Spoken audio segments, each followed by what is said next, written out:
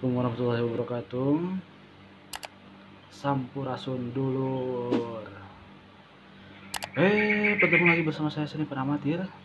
Pada kesempatan kali ini saya akan melakukan unboxing Senapan uklik SLTE SL STLT Maaf, maaf, maaf. STLT Sakti Gerlong Tublo Opor Kayu Ukir ini eh, paketnya Tony Riswanto. Oke. Kita lihat isinya. Langsung saja. Oke oke oke oke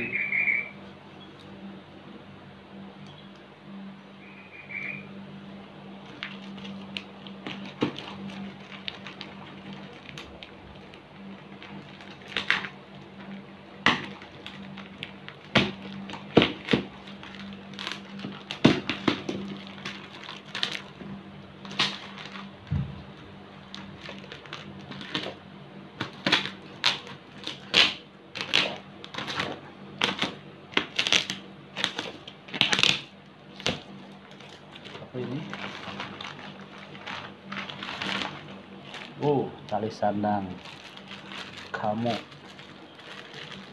Dan ini baut popor. Oke. Kita lihat si unitnya. Kita mulai dari mana? Kita mulai dari sini mana saja sama saja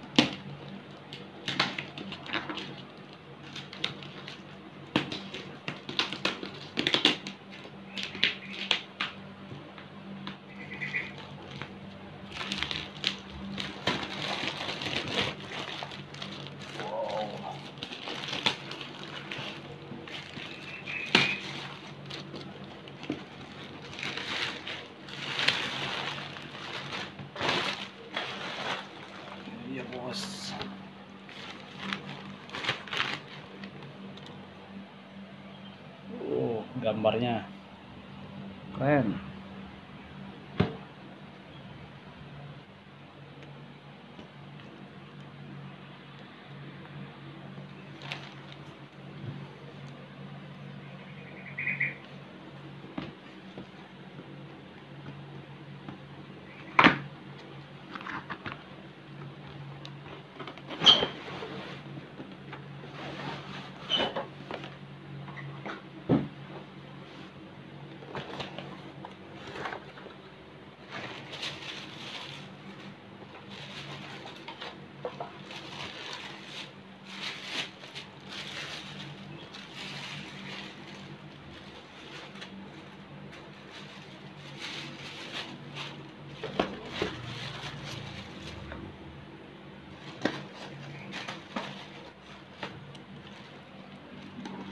Wih, sangar bro.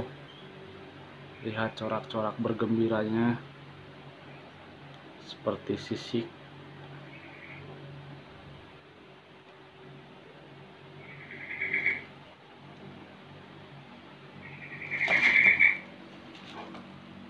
Serinya seperti ciri khas Saptiger dan ini logonya.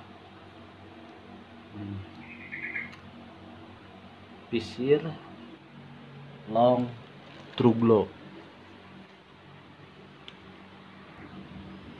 dan ini varian varian dari Saptiger nah ada pumping pumping itu ada tiga macam ya. Ada yang opor kayu ada yang kamo ada yang black yang dua ini ABS popornya. Oke ini dia dari penampakan si Tiger Long to Glow yang popor kayu ukir. Lihat ciri khas uh, popor ukirnya itu sangat-sangat menarik dan juga klasik ya. Ini dia sangar sangat sangar. Sebetulnya ini adalah subtiger yang ketiga yang saya miliki ya. Pertama saya membeli yang seperti ini juga dulu tapi sudah dijual. Kemudian saya membeli yang short ya yang laras pendek itu dengan popor ABS kemudian saya jual juga. Dan pada akhirnya saya membeli lagi yang seperti ini.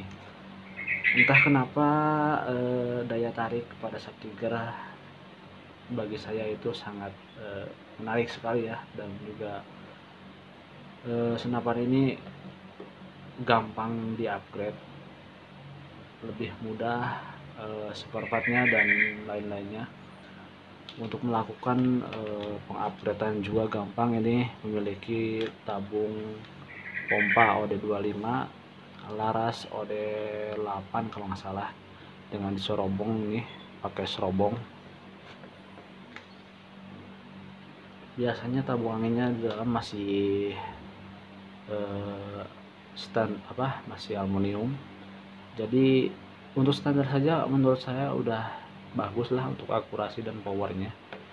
Tapi kalau lebih bagus lagi diganti dengan menggunakan tabung P5 atau di bar off ya di bar up banyak varian eh, tabung yang bisa dipilih untuk memodifikasinya supaya powernya lebih pedas lagi. Oke ini dari bawah. Uh mantap